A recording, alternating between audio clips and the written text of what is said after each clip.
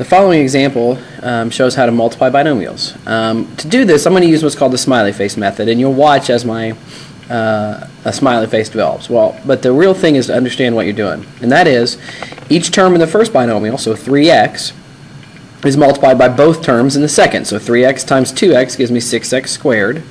3x times 5 gives me 15x.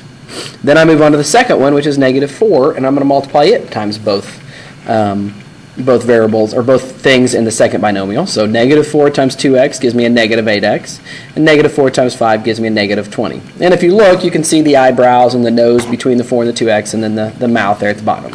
I, I always look for that pattern to make sure I did it right. The second thing is to add like terms. You can see that 15x minus 8x go together right? They're, they they both have a term of x, and so 15 minus 8 is 7, so your final answer is 6x squared plus 7x minus 20 and you are done. You don't try to add anything else up. The, the, nothing else is alike.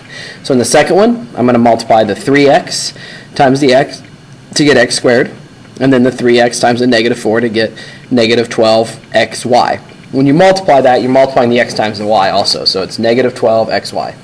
And then on the next one, I'm going to multiply 2, and it's going to be um, also xy. I usually try to always put it alphabetical order for, for, for ease sake.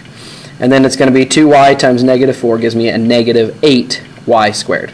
Again, I look for like terms. Well, this one has like terms, xy. They both have an x and a y in it, so I can add those together. So negative 12 plus, plus 2 gives me a negative 10. So I end up with 3x squared minus 10xy minus 8y squared. And that's how you multiply binomials.